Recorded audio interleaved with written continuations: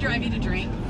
I mean, he, he's, he's doing this because he knows that today really needs to be. Yeah, yeah. Not, not today. We need a little zen room for you. And it doesn't include Jack Wheelahan, right? I think he's standing. Oh, yeah. Oh, it's called sanding the flues.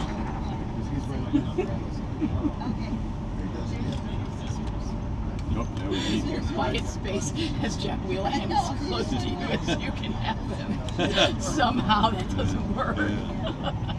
So